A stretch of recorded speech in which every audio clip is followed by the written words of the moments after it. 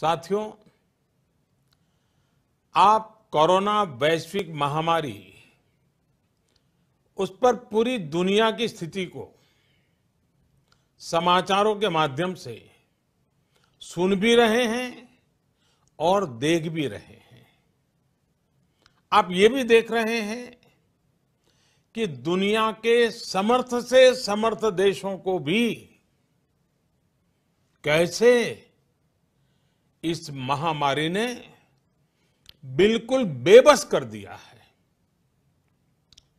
ऐसा नहीं है कि ये देश प्रयास नहीं कर रहे हैं, या उनके पास संसाधनों की कमी है, लेकिन कोरोना वायरस इतनी तेज़ी से फैल रहा है कि तमाम तैयारियाँ और प्रयासों के बावजूद इन देशों में चुनौती बढ़ती ही जा रही है।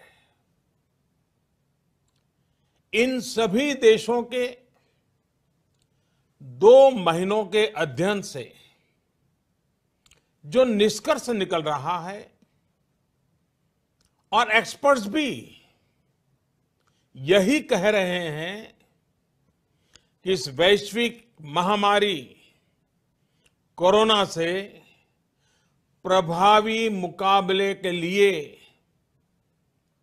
एकमात्र विकल्प है सोशल डिस्टेंसिंग। सोशल डिस्टेंसिंग यानी एक दूसरे से दूर रहना। अपने घरों में ही बंद रहना। कोरोना से बचने का, इसके अलावा कोई तरीका नहीं है, कोई रास्ता नहीं है। कोरोना को फैलने से रोकना है तो उसके संक्रमण की जो साइकिल है, उस साइकिल को तोड़ना ही होगा। कुछ लोग इस गलत फहमी में है कि सोशल डिस्टेंसिंग केवल मरीज़ के लिए, बीमार लोगों के लिए आवश्यक है। ये सोचना सही नहीं। सोशल डिस्टेंसिंग हर नागरिक के लिए है हर परिवार के लिए है। परिवार के हर सदस्य के लिए है, प्रधानमंत्री के लिए भी है।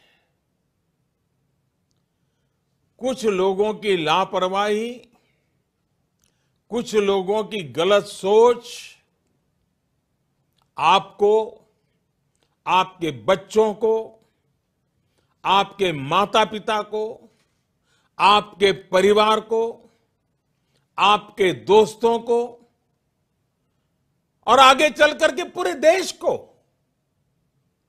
बहुत बड़ी मुश्किल में झोंक देगी। अगर ऐसी लापरवाही जारी रही तो भारत को इसकी बहुत बड़ी कीमत चुकानी पड़ सकती है। और यह कीमत कितनी चुकानी पड़ेगी? इसका अंदाज़ा लगाना भी मुश्किल है।